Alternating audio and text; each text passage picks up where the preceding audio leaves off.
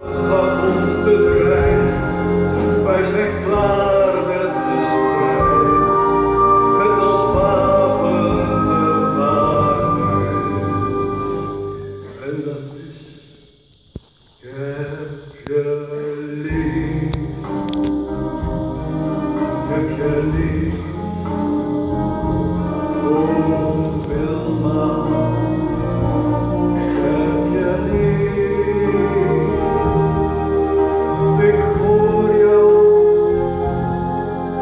befreit.